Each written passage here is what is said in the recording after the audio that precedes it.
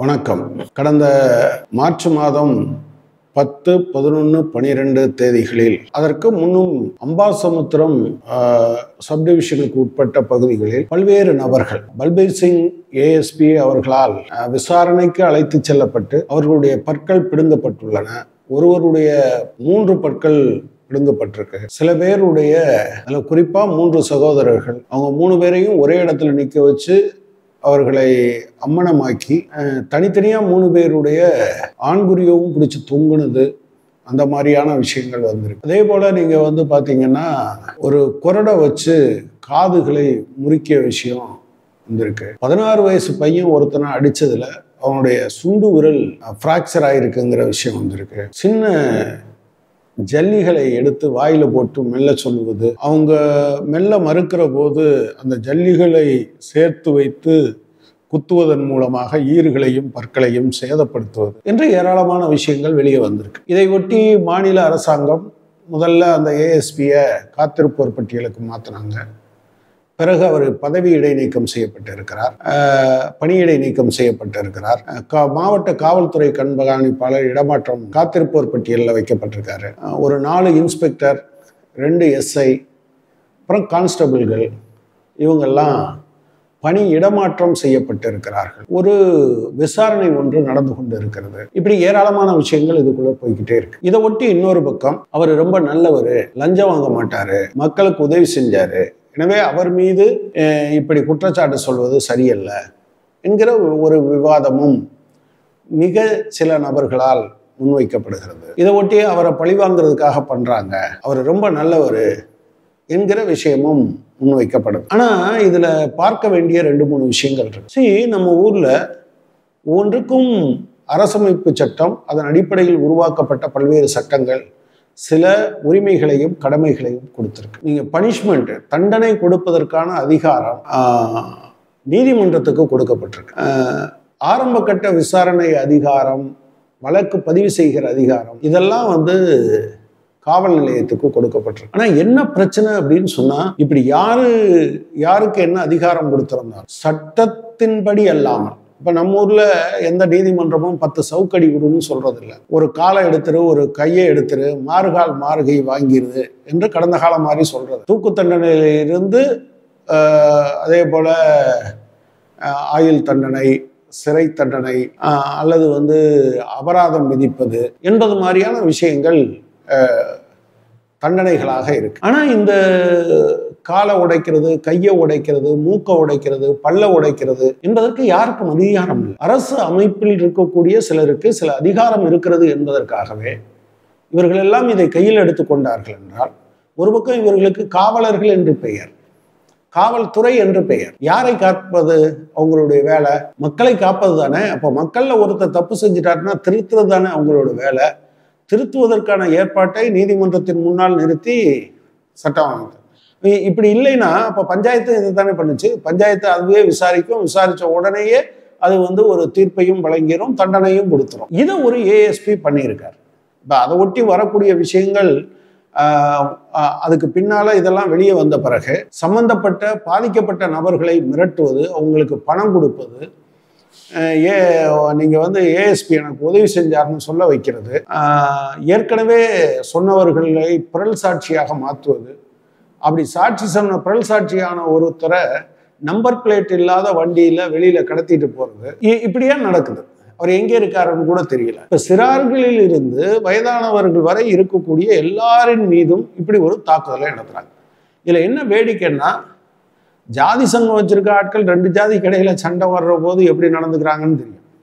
ஆனா பல்வேறு ஜாதிகளை சேர்ந்தவர்கள் பாதிக்கப்பட்டிருக்க சூழ்நிலையில் இந்த சாதி சங்கங்கள் எல்லாம் தங்கள் ஜாதியை சார்ந்தவர்களிடம் நீங்கள் வந்து அவருக்கு எதிராக சாட்சி சொல்லாதீங்க. உங்களுக்கு அஞ்சு லட்சம் தாராங்கிறது வர சொன்னதாக செய்திகள். முப்பதாயிரம் கொடுத்து இப்படி சாட்சி சொல்லுன்னு சொன்னதாக வரும். ஒரு அம்மாவை அந்த ஊர்ல இருந்து வேற ஒரு இடத்துக்கு எடுத்துகிட்டு போய் நடுக்காட்டில் வச்சு ஒரு வீடியோ எடுத்து அவர் நல்லவர் தான் சொன்னதாக சொன்ன விஷயங்கள் வந்திருக்கு.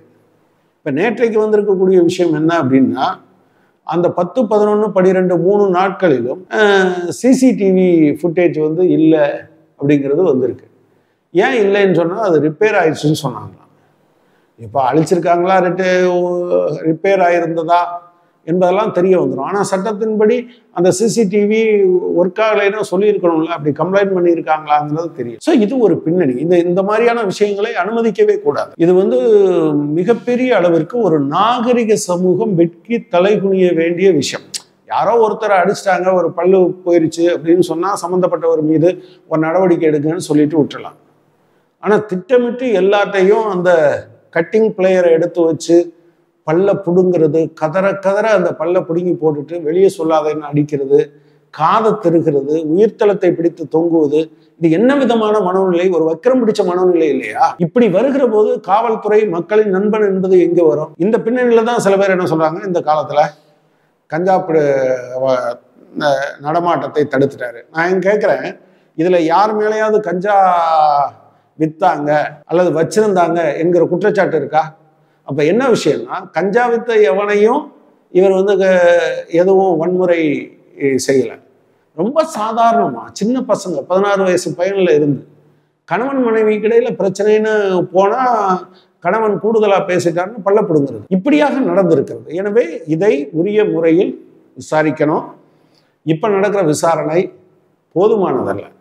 இவருடைய பேட்ச்மேட்டு தான் சேர்மாதேவி சப் கலெக்டர் அவரே வச்சு விசாரிக்க சொல்கிறது என்ன நியாயம்? ஒரு உயர் பொறுப்பில் இருக்கவர் விசாரிக்க வேண்டாமா? மனித உரிமைகள் குறித்தான அக்கறை இருக்க ஒரு நபர் விசாரிப்பதற்கு பதிலாக பேருக்கு ஒருத்தரை விசாரிக்கிறது சரியில்லை. தமிழக அரசாங்கம் அதை கொஞ்சம் மறுபரிசீலனை செய்யணும். மனித உரிமை ஆணையமும் இந்த மாதிரி பண்ணியிருக்கு. இன்னொரு வகையில் நீங்கள் பார்த்தீங்க அப்படின்னு சொன்னால் அவர் இந்த இந்த இந்த இவங்களுக்கெல்லாம் முறையான ட்ரீட்மெண்ட் கொடுக்கணும். அவங்களுக்கு காம்பன்சேஷன் கொடுக்கணும். இது எதையுமே இவர் மீது வழக்கு பதிவு செய்யணும். பல்பீர் சிங் மட்டும் இல்லை அவருக்கு துணையாக இருந்த காவலர்கள் அல்லது எஸ்ஐ இன்ஸ்பெக்டர் இருந்தாங்கன்னா நீங்கள் எல்லாம் ஒன்றா சேர்ந்துக்கிட்டா ஒரு ஜாதி ஆயிடுவீங்களா இது ஐபிஎஸ் அசோசியேஷன் வேற நீங்கள் மீடியாவில் ட்ரையல் நடத்தாதீங்க. நான் கேட்குற மீடியா மீடியாவில் இந்த செய்திகள் வரலைன்னா இது வெளியவே வந்திருக்குமா? இவ்வளோ பெரிய பிரச்சனை ஆயிருக்குமா? சிசிடிவி ஃபுட்டேஜ் இல்லைங்கிறது வெளியே வந்திருக்குமா? நீங்கள் நம்பர் பிளேட் இல்லாத வண்டியில் கடத்திட்டு போனது தெரிய வந்திருக்குமா? எனவே ஐபிஎஸ் அசோசியேஷன் அதில் இருக்கக்கூடிய ஐபிஎஸ் அசோசியேஷன் வச்சிருக்காங்க. ஆனால் இவங்கெல்லாம் வந்து சங்கமாக போராடினா அவங்களுக்கெல்லாம் கோபம் வரும். சாதாரண பாவப்பட்ட மக்கள் தங்களுடைய கோரிக்கைகளுக்காக சங்கம் வச்சுருந்தா சங்கமாடா வைக்கிறீங்கலாம் கேட்குற ஆட்கள் பலர் இருக்காங்க. ஆனால் இவங்க சங்கம் வச்சுப்பாங்க. இவங்களுக்கு கீழே இல்லை காவலர்களுக்கு சங்கம் இருக்கா? இடதுசாரி அரசாங்கங்களை தவிர யாரும் சங்கம் வைக்கிறதுக்கான உரிமையெல்லாம் கொடுத்துடல. கேரளாவில் இன்றைக்கும் போலீஸ்காரங்களுக்கு சங்கம் இருக்குது தமிழ்நாட்டில் போலீஸ்காரங்க சங்கம் வைக்கணும்னு ஆரம்பிச்சோடனே எம்ஜிஆர் துப்பாக்கி சூடுலாம் நடத்தி கொஞ்சம் பேர் மேலே கொஞ்சம் பேரை பிடிச்சி ஜெயிலெலாம் போட்டாங்க. அவங்கள வேலை நீக்கம்லாம் செஞ்சாங்க. இவங்க அப்படி ஒன்று சொல்கிறாங்க இதுக்கடையில் பார்த்தீங்கன்னா அரசியல் கட்சிகளுக்கும் இதுக்குள்ள ஒரு விஷயம் இருக்குது பலரும் பேச மறுக்கிறாங்க. ஆவுன்னா அண்ணன் தம்பிக்குள்ள சண்டைனா கூட ஸ்டேட்மெண்ட் விடுற அண்ணாமலை மூச்சே விட காணும் இதை விட பெரிய கொடுமை என்னன்னா ரங்கராஜ் பாண்டே ஒரு வீடியோ போட்டிருக்காரு. அவர் என்ன கேட்குறாரு குற்றவாளினா இங்கே கொஞ்சுவீங்களா? அப்படின்னு கேட்டிருக்காரு. நான் என்ன கேட்குறேன் குற்றவாளியா இல்லையான்னு ரங்கராஜ் பாண்டேயும் பல்பீர் சிங்கும் முடிவு எடுத்துடலாமா இது இல்லை டிகே பாசு கேஸில் இவ ஒரு பெரிய பத்து கட்டளைகள் கொடுத்துருக்காங்க. அந்த கட்டளைகள்லாம் ஃபாலோ பண்ணால் குற்றவாளிகள்லாம் தப்பிச்சு ஓடிடுவாங்களாம் அப்போ என்ன சொல்கிறாரு அவர்? அவர் அவர் ஒரு ஆர்எஸ்எஸ் ஆதரவாளர் தானே. அவங்க இந்த கட்ட பஞ்சாயத்து மாதிரி நடத்தணும்னு நினைக்கிறாருன்னு நினைக்கிறேன். நாகரிக சமூகம் ஒரு மனிதனை டிஃபெண்ட் பண்ணுறதுக்கான வாய்ப்பை கொடுக்குது. கோர்ட்டு விசாரணை நீண்ட காலம் எதுவும் வேண்டாம் அப்படின்னு சொன்னால் இவங்க இஸ்லாமிய நாடுகளை கல்லடி இருக்கிறாங்க தலையை எடுக்கிறாங்க கால் எடுக்கிறாங்கன்னு நொக்கல் பண்ணுவாங்க. ஆனால் இவங்க ஒன்றும் இல்லை. அந்த அவர் அவர் இப்போ கேட்டால் என்ன சொல்கிறாங்கன்னா பல்பீர் சிங் தன்னுடைய வாட்ஸ்அப் டிபியில் கவர்னரோட ஃபோட்டோ வச்சுருந்தாரு அப்படின்னு சொல்கிறாங்க நம்ம பார்க்கல நம்ம அவருக்கு தெரியாது. பட் என்ன பிரச்சனைனா அந்த காரணத்தினாலேயே அவர் என்ன சொல்கிறாருன்னா சில நேரங்களில் வந்துச்சுன்னா என்கவுண்டர் பண்ணுங்கன்னு சொல்கிறாங்க கோபத்தில் பொதுமக்கள் ஆயிரம் சொல்லுவாங்க. இதையெல்லாம் கொஞ்சம் நிதானத்தோடு யோசித்து நிதானத்தோடு அணுக வேண்டும் என்பதற்காகத்தான் சட்டம் உருவாக்கப்பட்டிருக்கு. அப்படி நிதானமாக அணுக வேண்டும் என்று தான் காவல்துறையினருக்கு சொல்லிக் கொடுக்கப்படுது. அவங்களே முடிவெடுக்கக்கூடாதுங்கிறதுக்காகத்தான் நீதிபதிகளை உட்காத்தி வச்சிருக்கு. இது அவ்வளவையும் கொஸ்டின் பண்ணுறாங்க இது என்ன பாரதிய சம்பிரதாயத்தில் இது இருக்க எதுவும் இருக்கான்னு நம்ம ரங்கராஜ் பாண்டேட்ட கேட்க வேண்டியிருக்கு. இது ஒரு ரொம்ப ரொம்ப அறுதப்பழசான காட்டுமிராண்டித்தனமான சந்தனை. இன்ஸ்டன்ட்டு நீங்கள் கொலை செஞ்சவனுக்கு கூட நீதிமன்றம் விசாரிச்சு இவன் ஒரு அந்த மொமெண்ட் அந்த நிமிஷத்தில் கோவப்பட்டு இப்படி பண்ணானா? கொலை செய்வது என்பது அவனுடைய நோக்கமாக இருந்ததா? கொலைக்கு பின்னால் திட்டமிட்டு இருந்தாங்களா இப்படியெல்லாம் பார்க்குறாங்கல்ல இது எதையும் பார்க்கக்கூடாதான். பல்பீர் சிங் மாதிரியான ஆட்கள் பல்ல பிடுங்குனா சட்டம் ஒழுங்கு சரியாயிருமா? நீ அப்படின்னா கொலை தண்டனை மரண தண்டனை எல்லாம் வந்த பிறகு உலகத்துல எந்த விதமான தவறுமே நடந்திருக்க கூடாது. ஏன் ரங்கராஜ் பாண்டே இது மிகவும் கண்டிக்கப்பட வேண்டிய ஒரு அவருடைய அந்த வீடியோவா இருக்கு. இது என்ன ஒரு வீடியோ தானே? அது எதுக்கு பெருசா நீங்க பேசிட்டு இருக்கீங்கன்னு கேட்கலாம். இந்த வலதுசாரி என்பதே சட்டத்துக்கு அப்பாற்பட்ட விஷயங்களை நடைமுறைப்படுத்த வேண்டும் என்கிற கோரிக்கையை வைப்பது ஜாதியா இருக்கணுங்கிறது அடுத்த மதம்லாம் இருக்கிறவன்லாம் மோசங்கிறது எதை எடுத்தாலும் ஆள்றவங்களை கேள்வி கேட்டால் அது வந்து தேசத்துக்கு எதிரானதுன்னு சொல்றது. இப்படி சொல்லியே மக்களை ஒருத்தர் ஒரு சிலர் மக்களை ஏமாற்றுவது. ஒரு ஒரு சிலருக்கு என்ன இருக்கும்? எவ்வளவு காலம் நீங்க வந்து விசாரணை நடத்தி இதெல்லாம் பண்ணணும்னு கேட்பாங்க. ஆனால் தன்னுடைய குடும்பத்துக்கு வந்தா. இப்போ யாராவது ஒருத்தர் இங்கேருந்து எடுத்துட்டு வந்து ரங்கராஜ் பாண்டே உங்கள் மேலே கேஸ் இருக்கு வாங்க ஸ்டேஷனுக்குன்னு தர தரன்னு இழுத்துட்டு போனால் ரங்கராஜ் பாண்டே சும்மா இருப்பாரா? அவர் இப்போ ஆமான்னு கூட சொல்லலாம். ஏன்னா எந்த அரசாங்கம் வந்தாலும் அதோட கொஞ்சம் இணக்கமாக இருப்பதன் மூலம் தப்பித்து விடலாம் என்று நினைக்கலாம். ஆனால் எல்லா அரசாங்கங்களும் கடைசியாக கை வைக்கிறால அவங்கள ஆதரிச்சவங்களா தான் இருந்திருக்கு. ஏன் இப்படி இப்படிப்பட்ட சிந்தனை வருது? இதை இது இந்த இந்த இந்த வீடியோவினுடைய முக்கிய நோக்கமே ஒரு பதினாலு வரை உறுதியாக தெரியுது. நாற்பது பேர் வரை இருக்கலாம்னு சொல்கிறாங்க இதில் யாருக்கும் மிகப்பெரிய குற்ற பின்னணி கிடையாது.